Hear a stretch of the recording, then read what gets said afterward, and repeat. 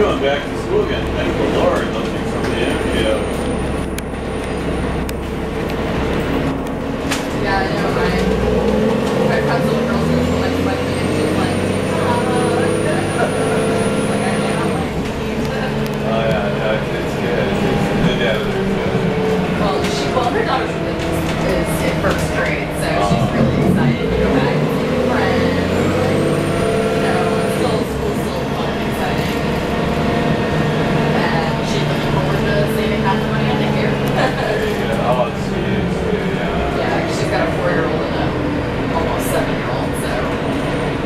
No, my ex took the summer off actually and we switched jobs. This is when I worked out all the money. Actually, I think we saved money without the uh, daycare.